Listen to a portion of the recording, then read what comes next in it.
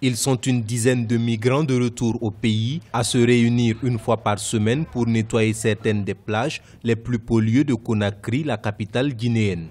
Cette action fait partie d'un projet initié par l'Organisation internationale pour les migrations qui se déroule en plusieurs phases et qui a déjà permis à 463 rapatriés de trouver du travail. On a déployé 500 personnes pour cette première rotation de 45 jours.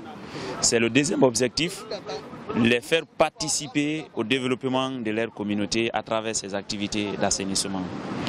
Le troisième euh, objectif que je vais appeler aussi raison, c'est bien de créer un climat de cohésion sociale entre eux. Parce qu'ils sont appelés à se constituer en des groupements.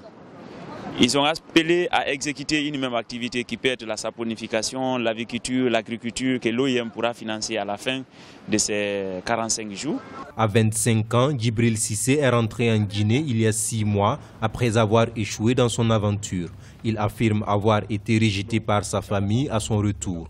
Malade, il a été accueilli par un de ses amis. Aujourd'hui, il est déterminé à transformer sa vie. Quand il ne travaille pas sur le projet de nettoyage, il travaille comme chauffeur à temps partiel pour une famille. Je travaille, si tu me dis non, si je travaille, ce n'est pas pour, moi.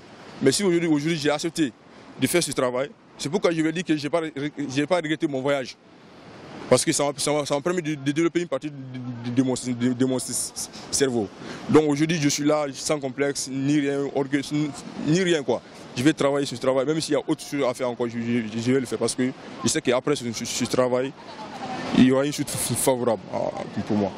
Durant la seule année 2017, 6604 migrants guinéens ont atteint les côtes italiennes.